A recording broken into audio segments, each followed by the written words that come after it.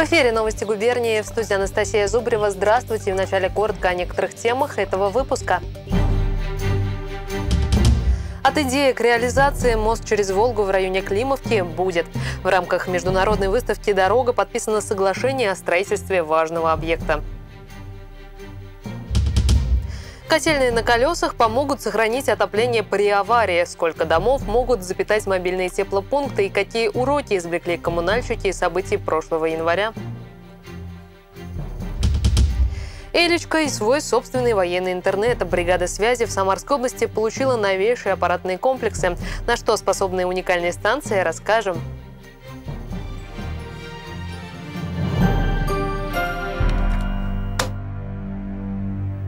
Знаковое для нашего региона событие и важный в масштабах страны инфраструктурный проект. Сегодня в Екатеринбурге в присутствии председателя правительства России Дмитрия Медведева, главы Минстроя Евгения Дитриха и губернатора Самарской области Дмитрия Азарова подписано концессионное соглашение о строительстве обхода города Тольятти. Это автомобильный мост через Волгу в районе Климовки с выходом на автодорогу М5 «Урал».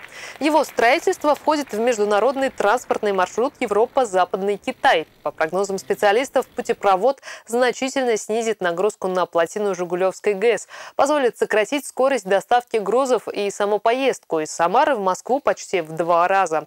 Длина четырехполосного моста чуть меньше 4 километров, а всей новой трассы более 100.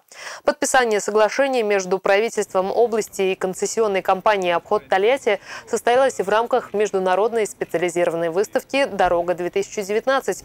Благодаря системной работе регионального правительства правительства и губернатора на обоснование необходимости строительства объекта было подготовлено в кратчайшие сроки.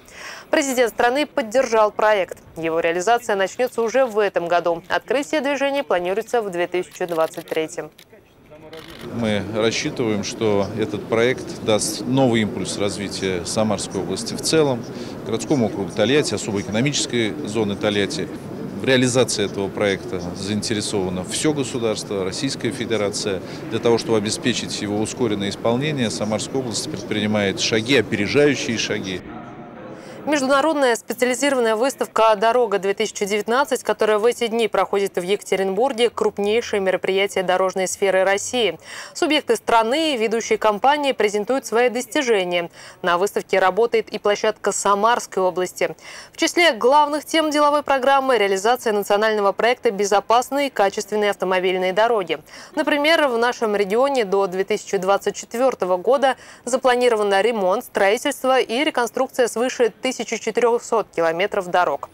Первые результаты действий нацпроекта уже заметны. Снижаются показатели смертности и аварийности на автомагистралях. Это стало возможным в том числе благодаря четкой организации работы, отметил Дмитрий Азаров. Все работы в рамках национального проекта, запланированы на 2019 год, уже выполнены.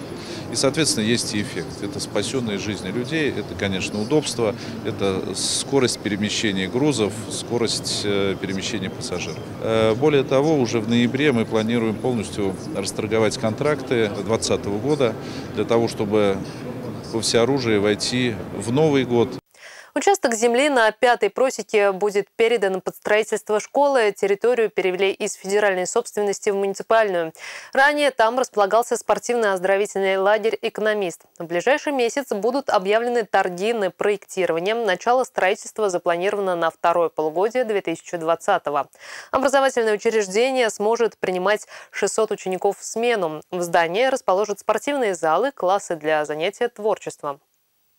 Работы на данном участке начнутся в ближайшее время по э, подготовке, расчистке от э, той растительности, которая там находится, только под те э, части этого участка, на которых будет непосредственно размещаться школа. То есть эти работы начнутся даже чуть ранее, чем будет общий контракт на выполнение строительно-монтажных работ.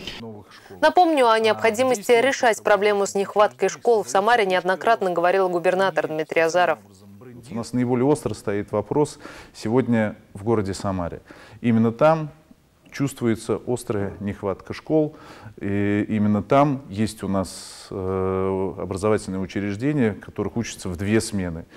И, конечно, там нужно решать вопрос. Поэтому мы концентрируем свои усилия. Уверен, что в следующем году приступим к строительству школ, например, в Октябрьском районе города Самара.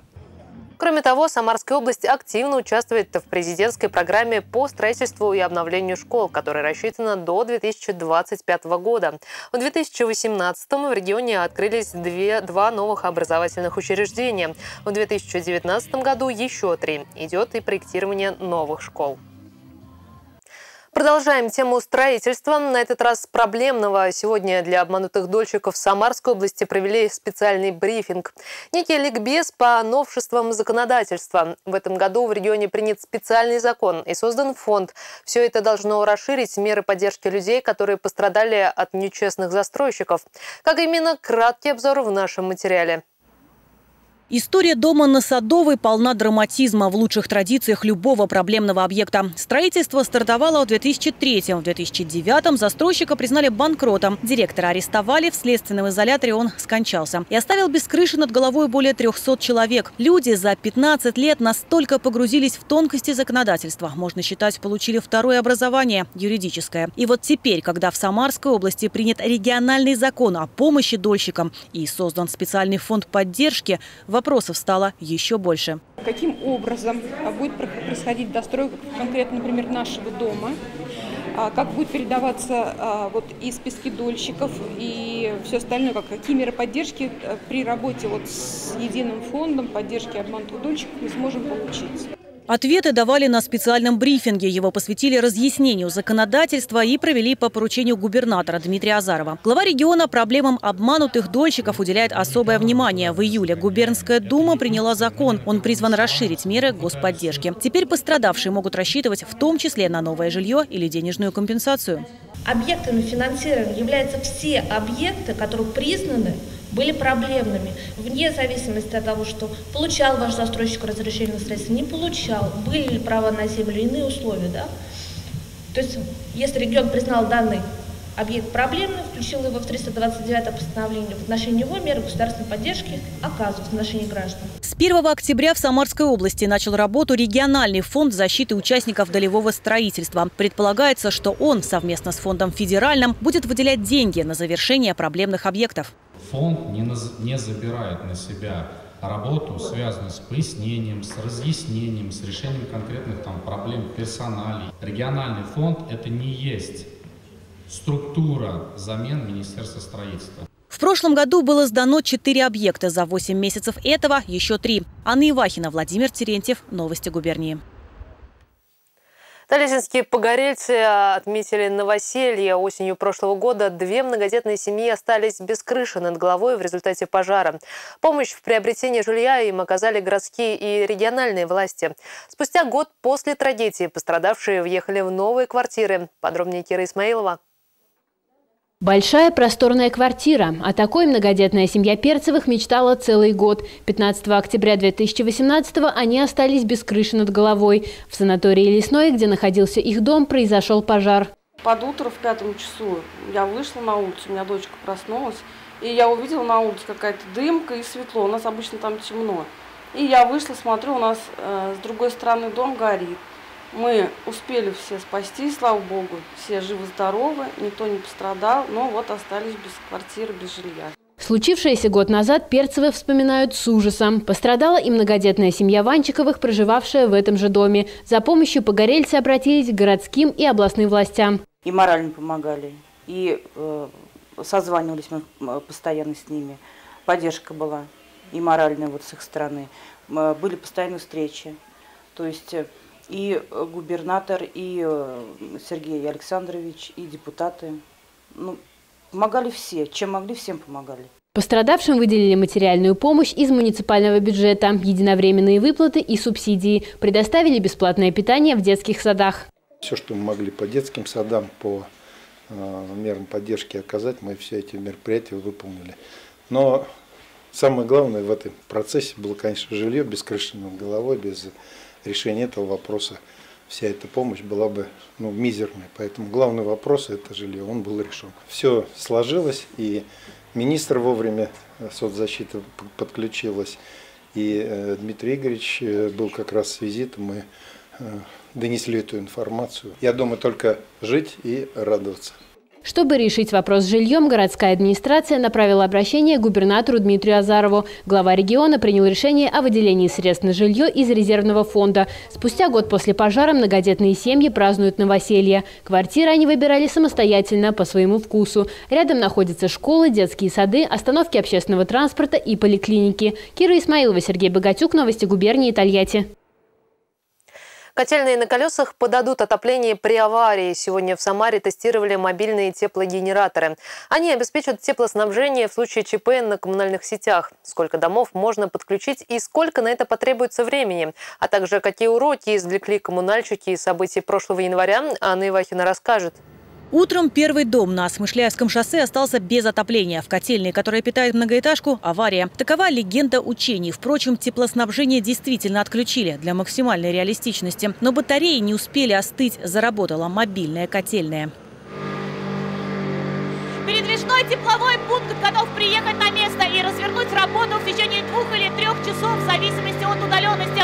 Еще примерно один час потребуется, говорят специалисты, чтобы заполнить систему теплоснабжения дома.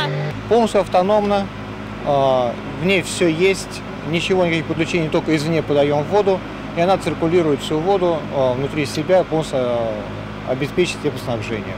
В Самаре мобильные котельные тестировали в двух удаленных районах на улице Дальней и Смышляевском шоссе. Один такой пункт может обеспечивать теплом три девятиэтажки. Причем ограничений по времени тут нет. Некоторые установки, всего их в городе шесть, уже прошли испытания коммунальными ЧП.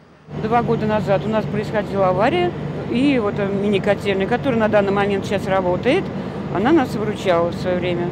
Топят такие котельные, конечно, не на полную мощность, но благодаря им люди в домах не замерзнут и система отопления из строя не выйдет. Городской оргштаб контролирует учения и проверяет температуру подачи тепла. Это в том числе и уроки событий минувшей зимы. В январе двойной прорыв магистрали на Ташкентской обернулся крупным коммунальным ЧП. Тогда двое суток без тепла провели жители более чем 300 домов. К новому отопительному сезону отрезок ветхой трубы заменили, а еще модернизировали коммуникации на других участках участках. Сейчас, когда мы готовили город к теплу, мы сделали, восстановили резерв на Нововокзале Московской, наверное, видели месяц-полтора, там мы по половинке закрывали. Вот там как раз восстанавливали резерв. Если, скажем, где-то происходит авария, мы могли по нижней зоне перезапитать. Действия при ЧП отрабатывали и электрики, подавали ресурс в мобильные котельные с помощью автономных генераторов. Анна Ивахина, Александр Каракулько. Новости губернии свой собственный военный интернет и способность работать в любой точке планеты. Бригада связи, дислоцированная в Самарской области в честь своего профессионального праздника, получила новые аппаратные комплексы. Их уже опробовали на масштабных учениях «Центр-2019». Как показали себя инновационные станции в нашем материале. Их называют нервами вооруженных сил, а с нервами всегда должен быть полный порядок. Новые комплексы связи дают военным огромные возможности. Вот эта станция способна работать где угодно. Ее даже можно сбросить с парашюта. Через полчаса после приземления она уже обеспечит войска необходимой информацией. Возможности этого комплекса довольно-таки широкие. Он способен обеспечивать видеоконференцию, если простым языком говорят, телефонную закрытую связь, передачу данных. Есть гражданская сеть интернет, по, которому вы все пользуетесь передачей э, разных сообщений, писем. Здесь то же самое происходит только в масштабе Министерства обороны. Новые станции поступили в войска накануне дня рождения. выходные связисты отмечают столетний юбилей. Виктор Букреев служит всего 11 лет. По его словам, даже за этот короткий промежуток аппаратные комплексы сделали не один, а несколько шагов вперед. Устройства могут работать через спутники, а также без участия космических аппаратов, способны обеспечить связью войска, даже не приближаясь вплотную к линии обороны. На данный момент у нас аппаратные, которые э, цифровые, они передают пакетные передачи данных на скоростях до 8 мегабит, а при объединении двух направлений мы можем передавать скорость э, до 32 мегабит. Станция Р-419Л1. Военные ласково называют ее Элечкой. На последних учениях Центр 2019 эта дама показала, на что она способна. Противник не мог обнаружить и заглушить ее сигнал целых 8 часов. За это время план врага стал известен, и атака была отбита. Кроме уникальных технических возможностей, новые станции сделаны с максимальным комфортом для военнослужащих. Внутри тепло, есть мягкие кресла и даже спальные места. Все, чтобы солдаты не отвлекались от выполнения боевых задач. Руслан Шарипов, Тимур Набиев. Новости губернии. А теперь коротко о других новостях в нашей постоянной рубрике «Губерния за минуту». Самарец в медицинской маске пытался ограбить инкассаторов. Мужчина проник в салон служебного автомобиля и распылил перцовый баллончик в глаза водителю, после чего схватил сумку, в которой находилось почти 2 миллиона рублей, и попытался скрыться. Водитель оказал сопротивление и сорвал с грабителя маску. Подозреваемый бросил сумку и сбежал. В этот же вечер его задержали полицейские. 35-летний ранее несудимый житель Самары свою вину признал и раскаялся. Сызрани прошло окружное выездное совещание Министерства социально-демографической и семейной политики области. Ключевой темой стала реализация нас проекта «Демография». Опыт Сызрани в этом вопросе признали успешным и рекомендовали другим муниципалитетам. Участникам совещания также рассказали обо всех мерах поддержки, предусмотренных нацпроектом. Самаре показали 60 лет итальянской моды. В одной экспозиции собраны тренды нескольких десятилетий, эксклюзивные экспонаты из запасников итальянских домов моды и частных коллекций. Организатор проекта – Итальянский институт культуры. Выставку уже увидели в Риме, Париже, Вене, Вашингтоне, Сингапуре, Токио, Гонконге и Сеуле. В Самарском областном художественном музее экспозиция будет открыта до 10 ноября.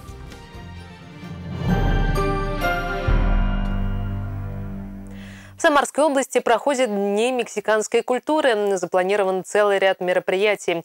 Выставки, фестивали, семинары с чрезвычайным и полномочным послом мексиканских Соединенных Штатов в Российской Федерации провел встречу губернатор. Стороны обсудили в том числе планы на следующий год. Россия и Мексика будут отмечать 130-летие дипломатических отношений. В преддверии этой даты Дмитрий Азаров предложил дать возможности людям больше узнать о истории и обычаях народов. Планируются обмены творческими коллективами, экспозициями музеев, а также виртуальные экскурсии по учреждениям культуры. Впрочем, заинтересованы стороны и усиление экономических связей. Речь шла о сотрудничестве в самых разных отраслях.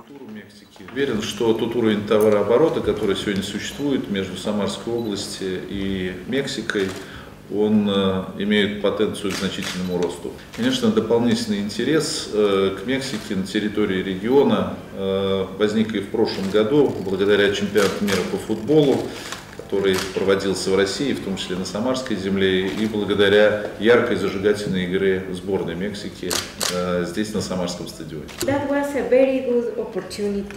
Чемпионат мира стал прекрасной возможностью, чтобы Самара особенно ярко засияла на карте. Чемпионат помог всему миру открыть глаза и увидеть, что такое Россия в настоящий момент. По-настоящему. Многие стереотипы были сломлены, люди поняли, что в России, в Самару нужно приезжать, нужно обмениваться опытом, нужно дружить. Нам нужно продолжать сотрудничество. Сейчас инвестиции между Самарской областью и Мексикой находятся ниже своего потенциала.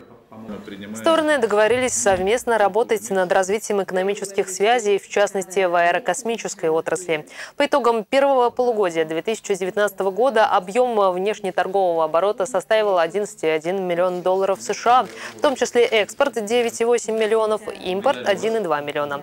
Основными экспортируемыми из Самарской области в Мексику товарами являются минеральные удобрения и продукция химической промышленности. Из Мексики в регион вводятся оптические инструменты инструменты, каучук, резина, пластмасса и изделия из них.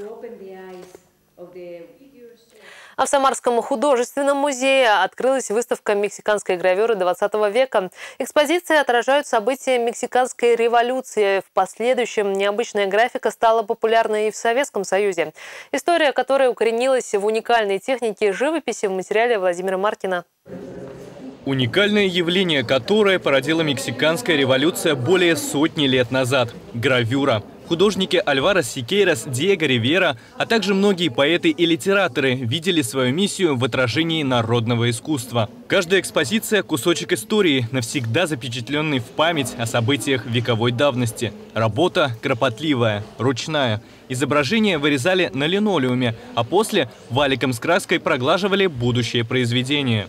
Необычный способ живописи повлиял и на советскую графику. Благодаря мексиканской гравюре был сделан прорыв в советской графике 60-х годов. В каждом доме появилось такое явление, как эстамп. Эстампы – это как раз производные, вот эти линогравюры, массовое искусство. Причем у нас в стране их стали делать двухцветные, трехцветные. Оценить искусство соотечественников прибыли и гости из Мексики. Тем более многие работы были переданы в дар русским североамериканцами. Самару и Мексику связывают гораздо более давние отношения. Именно здесь с 1941 по 1943 год находился посланник страны Северной Америки с дипломатической миссией. И спустя столько лет дружба продолжает крепнуть. Мы с Самарой работали очень плотно, начиная с прошлого года, потому что подготавливали все необходимое для визита огромного количества мексиканцев в Самару в рамках чемпионата мира. Мы очень тесно сотрудничаем с властями Самары и Самарской области. В следующем году исполнится 130 лет дипломатическим отношениям между Россией и Мексикой. И в планах у гостей из Северной Америки вернуться в Самару для работы над новыми проектами. Владимир Маркин, Дмитрий Столяров. Новости губернии. Здоровье по плану, новое оборудование в больницах, транспорт для сельских медиков, бережливые поликлиники. В Самарской области обновляется система здравоохранения. Какие изменения происходят в регионе в рамках нацпроекта здравоохранения, инициатор которого президент России Владимир Путин. И какие уникальные собственные идеи в этом направлении реализует Самарская область. Результаты за 9 месяцев в нашем материале. По инициативе главы региона Дмитрия Азарова разработана и внедряется программа транспортной обеспеченности фельдшерско-акушерских пунктов и офисов врачей общей практики. Фельдшерам вручают высоко проходимые Нивы. Это одна из мер, которая реализуется в Самарской области в рамках национального проекта здравоохранения. Главная суть всех глобальных национальных программ, чтобы от принятых действий каждый человек почувствовал улучшение жизни. Транспорт в медицине играет не последнюю роль. И когда мне говорят, Какое спасибо большое, что нам министерство выделило автомобиль «Газель», оборудовано креслами, и нас теперь на диспансерный осмотр возят в Нефтегорск из Алексеевки – это была очень проблема большая, и люди, может быть, не поехали. Это нужно платить деньги, потом нужно как-то к графику автотранспорта приспосабливаться. Делается многое, например, внедрение бережливого производства в поликлинике. Сам процесс медпомощи меняется. Теперь жителю отдаленных сельских территорий не надо ехать в Самару, чтобы, например, его кардиограмму посмотрели специалисты. Областной кардиодиспансер получает обследование дистанционно. С начала года там проверили более 30 тысяч кардиограмм. Меняется и работа с медицинским персоналом персоналом. Появляются новые медучреждения. Сразу две поликлиники в 19-м квартале Тольятти на 500 мест детская и на 1000 взрослые. Они обе уже строятся. Настоящий технологический бум переживают больницы. В Тольятти появился цифровой маммограф «Цедуга» в детской больнице. Готовится установка МРТ-томографа. В больнице Баныкина заработает современный ангиограф. Безусловно, для Тольятти этот год очень важен а, с точки зрения инвестиций в материальную базу э, здравоохранения Тольятти, и э, мы можем буквально в этом убедиться воочию. Да? начиная вот с первых уже поступлений, э, очень высококачественных экспертного уровня аппаратов УЗИ для онкологов, о первых итогах реализации нацпроекта говорить можно. Эффективность его реализации оценивается по 50 параметрам. В Самарской области нет ни одного критерия в так называемой красной зоне, то есть все обязательства будут выполнены. На данном этапе можем сказать, что да, мы работаем эффективно. А контрольные точки мы выполнили все. А, то есть те мероприятия, которые запланированы в рамках национальных проектов мы выполнили вовремя и в срок, и поэтому и достигли, соответственно, показали эффективность вложений средств. Промежуточные итоги – это контрольная точка. Нужно понять, что уже сделано, какие результаты это дает и к чему стремиться дальше. Планы еще масштабнее. Только один пример. До конца этого года в области откроется еще 14 ФАПов, 10 в рамках реализации нацпроекта и еще 4 по программе развития сельских территорий. Это значит, что медицинская помощь станет еще ближе и доступнее. Анастасия Зубарева, Сергей Александров. Новости губернии. Совместить жесткий рабочий график и спортивные тренировки сотрудники компании «Сибур» приняли участие в 15-м корпоративном фестивале спорта «Волжская осень». Он прошел в Тольятти в программе соревнования по баскетболу, хоккею и шахматный турнир. Как все было, расскажем. О том, что здоровый дух может быть только в здоровом теле, в компании «Сибур» знают все. От аппаратчика до председателя совета директоров. Поэтому на Волжскую осень в Тольятти вот уже 15 лет приезжают весьма представительные делегации со всех уголков России. От Москвы до Тобольска. В этом году почетный гость и участник соревнований – сборная команда «Пау Татнефть». Соревнуются в хоккее, баскетболе и шахматах. Это помогает слаженно работать в команде, развивать мышление и логику. Мы хотим, чтобы наши сотрудники были хорошем эмоциональном состоянии, мы хотим, чтобы у наших сотрудников не было проблем со здоровьем как вне рабочего места, так тем более на рабочем месте, особенно учитывая опасный характер химического производства и высокие требования к безопасности, которые должны быть. И мы как... Евгений Глязинцев в прошлом профессиональный хоккеист. После завершения спортивной карьеры в 2010 году пришел трудиться в Сибур Тольятти. Но в его графике есть время для товарищеских матчей и тренерской деятельности. Евгений стал основателем хоккейной команды предприятия. Это непосредственно моя инициатива была, то есть руководство меня в этой идее поддержало. Как бы, ну, как стараемся не бросать, развивать. То есть, ну, разное бывает. Бывают и поражения, бывают и победы. То есть, ну, мы идем к успеху, я думаю. Мы планируем дальше заявляться в более высшую лигу развиваем как можем, то есть руководство помогает нам. На этой Волжской осени по хоккею у тольяттинцев второе место из шести. Абсолютную победу одержала объединенная команда «Сибур» и «Пау Татнефть». Серебро взяли тольяттинские химики и в баскетболе. Там уровень борьбы оказался еще выше. Соревновались 13 команд, но со счетом 62-48 победу одержала сборная корпоративного центра из Москвы. Безусловно, побеждать всегда приятно. Хотя стоит отметить, что уровень баскетбольного турнира предельно высокий, и конкуренция в полуфинальных и финальных играх была серьезная. Ну, на финал, конечно, немного не хватило. Скорее всего, даже физических каких-то данных. У команды там э, скамейка такая боевая, э, бегущая. Поэтому немного нам, конечно, не хватило. Но считаем, что все равно э, турнир провели достаточно достойно. Кто лучше всех играет в шахматы, выясняют игроки 14 команд. Здесь тольяттинцам побед не досталось. Лидерство на стороне гостей из Татарстана. Их игроки были отмечены и в личных зачетах. Лучший результат среди женщин у Ольги Ковалевой. Ну, сейчас очень много методов для подготовки. То есть, конечно же, я открывала шахматные книжки. Э, и очень много на, в интернете. То есть оттачивала свое мастерство, чтобы быть в хорошей форме спортивной. Идеи здорового образа жизни в компании тесно связаны с принципами экологичности. На всех площадках были установлены контейнеры для сбора пластиковых бутылок. Из переработанных материалов изготовлена спортивная форма команд, баскетбольные мячи и медали, которые вручили победителям. Мария Шпакова, Кира Исмаилова, Сергей Богатюк, Новости губернии Тольятти. На этом у меня пока все. Еще больше новостей на нашем сайте. А если вы хотите предложить свою новость, то пишите. Наш адрес онлайн собака губерния Всего доброго.